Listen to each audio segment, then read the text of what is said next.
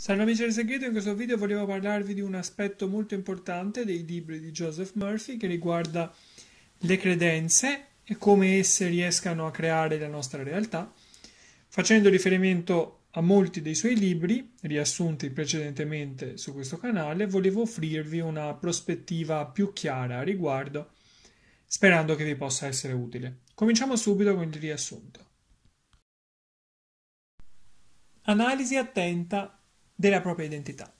Le credenze riescono a cambiare qualsiasi realtà. Le credenze sono lo strumento più potente di cui disponiamo perché controllano i nostri pensieri, le nostre azioni, le nostre reazioni e di conseguenza controllano anche la direzione della nostra vita. La vostra realtà è lo specchio delle vostre credenze. Quello che avete, fate o vedete oggi si basa sulle vostre credenze passate che vi hanno portato su questo punto. Il successo non necessariamente include lavoro e sforzi perché le opportunità, idee o persone che attirate sono fonti delle vostre credenze, delle vibrazioni in cui vi trovate mentre desiderate qualcosa. Se ci fate caso, appena pensiamo a qualcosa, il cervello comincia a produrre idee. Se ad esempio volete comprare qualcosa ma non avete soldi, il cervello vi porta immediatamente a pensare alle persone a cui potreste chiedere soldi, come ad esempio famiglia, amici, eccetera, ma anche a chi non dovreste chiedere perché non vi presterebbe denaro. Lo stesso vale se volete comprare una casa. Il cervello vi presenterà idee riguardo a come poter guadagnare di più, quali esperti contattare, eccetera ma questo solo se pensate basandovi sul desiderio di avere e non cadendo nel pessimismo, come ad esempio pensando che questo desiderio sia assurdo, che non lo realizzerete mai e che dovreste essere realisti e pensare a come arrivare a fine mese. Questo tipo di credenze creano immediatamente negatività e danneggiano le vostre vibrazioni. I pensieri sono energia. In base all'energia che disponiamo, noi ci troviamo su un determinato livello di frequenze. Per attirare il nostro desiderio dovremo trovarci su quel livello di frequenze, sentirle nostre, credere che sia possibile e addirittura immaginarlo come realizzato, come se fosse già nostro. In questo modo la nostra coscienza, ossia quella parte del nostro essere che pensa in modo cosciente, che noi possiamo controllare, finisce per influenzare il subconscio, la nostra parte inconscia che non possiamo controllare che lavora 24 ore su 24 per realizzare le credenze della nostra coscienza che le vengono trasmesse direttamente senza filtri. Quindi se noi vogliamo controllare il subconscio, dobbiamo controllare la nostra coscienza, filtrare quello a cui crediamo, pensiamo e percepiamo, perché altrimenti eh, questo processo sarà svolto in modo automatico, senza il nostro controllo e può andare in direzioni che noi non vorremmo che andasse. Il subconscio quindi lavora con l'intelligenza infinita per realizzare il nostro desiderio, ossia quello che noi abbiamo nella nostra coscienza. Come non ha importanza, questo si relaziona appunto con la nostra fede. Se abbiamo fede che qualcosa esista o sia vera, non abbiamo bisogno di vederla perché non metteremmo mai in discussione la nostra fede. Ecco, Proprio questo è fondamentale per realizzare grandi desideri. Non dovete mai mettere in discussione il fatto che il desiderio sia già stato realizzato. In questo modo riuscirete a vederlo materializzato. Dio parla a noi attraverso i nostri desideri fondamentali. Tutti noi abbiamo desideri e vogliamo creare qualcosa nella nostra vita, vogliamo servire, vogliamo avere. E così cominciamo con l'io. La maggior parte di noi è totalmente inconsapevole dell'io che ci sta veramente a cuore. Completate la frase io sono basandovi sui vostri desideri, magari dicendo io sono un imprenditore, un artista, un milionario. Questo rappresenta l'identità con cui vi identificate. Non ha importanza se è vero oppure no. Questo vi aiuterà comunque a cambiare direzione nella vostra vita. Per cambiare destinazione ci potrà eh, volere del tempo, ma tutto dipende dal grado di fede che voi avete in questa identità. Dobbiamo basare la nostra identità su quello che vorremmo raggiungere in futuro e non su quello che abbiamo oggi.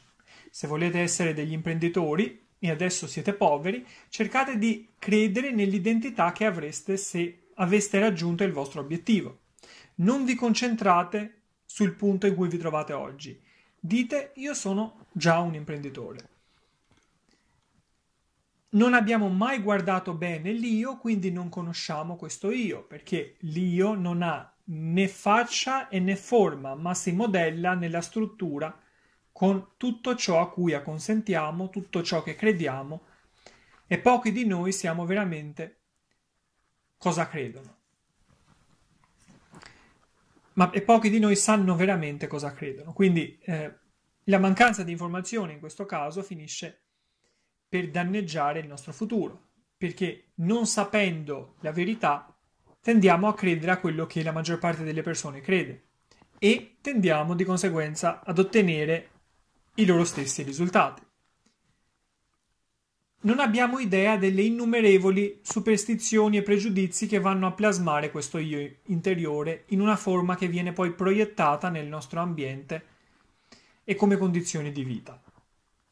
E ora, come si fa a cambiare l'io? Prima di tutto dobbiamo scoprire l'io e lo possiamo fare attraverso un'osservazione acritica di sé. Dobbiamo partire dall'eliminazione dei pregiudizi, evitando di sentirci in colpa per quello che siamo. Dobbiamo imparare ad accettare e ad amare noi stessi perché solo così riusciremo a nutrire la nostra autostima. Facendo questa esaminazione della nostra identità, ci si rivelerà un livello di coscienza del sé che potrebbe sconvolgerci.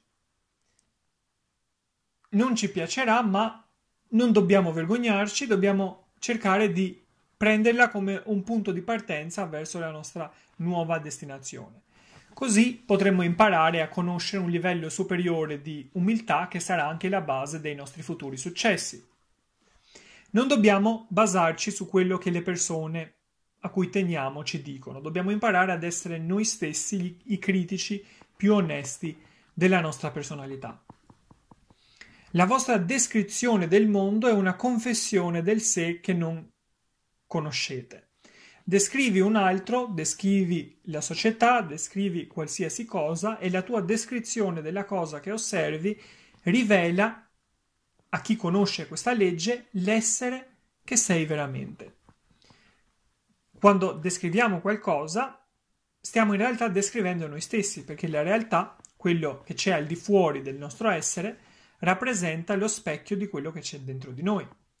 Se cambiamo dentro di noi, se riusciamo a riprogrammare il nostro subconscio, tutto al di fuori cambierà. Quando noi evolviamo, diventiamo più armoniosi e scopriamo il sé superiore che c'è dentro di noi, riusciamo a cambiare l'intera realtà. L'essere segreto, che è l'insieme di tutte le mie credenze, di tutte le cose a cui acconsento, che formano un modello di struttura, attira a sé le cose in armonia con sé.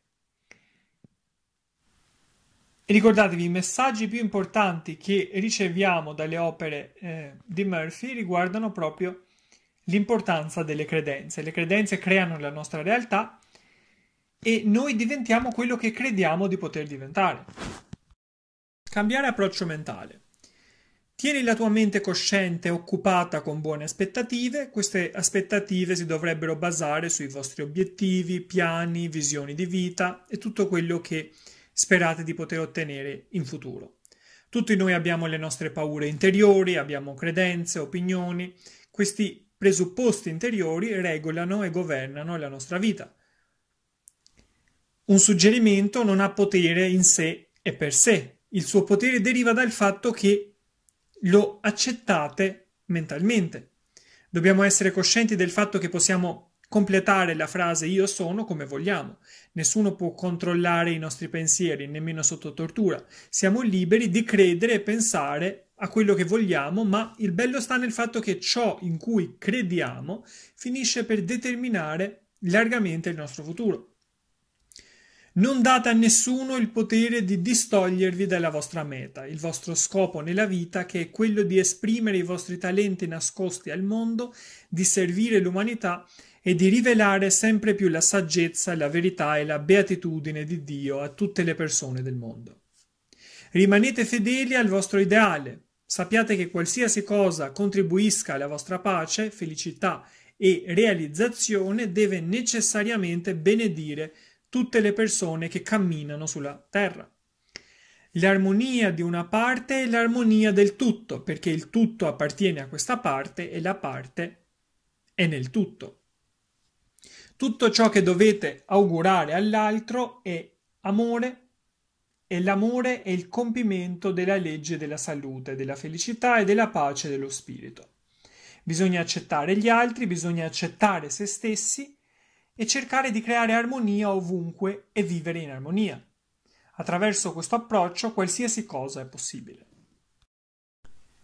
Questa era la spiegazione del concetto della credenza nelle opere di Murphy. Si tratta di spunti che aiutano a sviluppare nuove aspettative riguardo il futuro e il nostro vero potenziale. Spero che il video vi sia piaciuto, vi ringrazio della vostra attenzione e ci risentiamo nei prossimi video. Ciao!